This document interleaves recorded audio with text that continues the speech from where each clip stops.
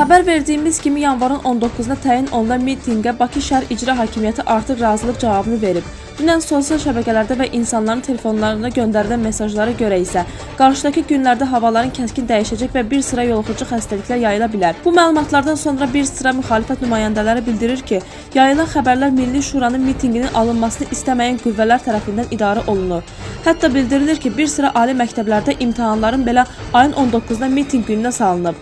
Onu da bildirək ki, 2 gün ölkədə qeyri-normal hava şəraiti olacağı çox ciddi şəkildə qeyd olunur.